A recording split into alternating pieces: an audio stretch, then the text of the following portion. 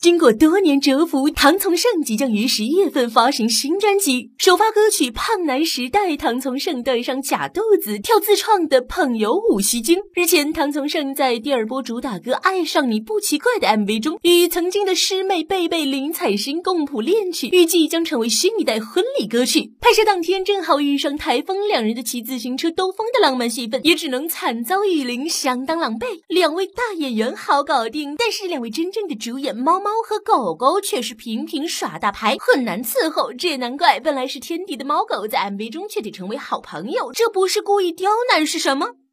就是这一次呢，MV 里面有一个桥段，就是男女主角呢，就是有在呃是一个都是爱猫爱狗的，然后呢，他们因为猫狗结缘，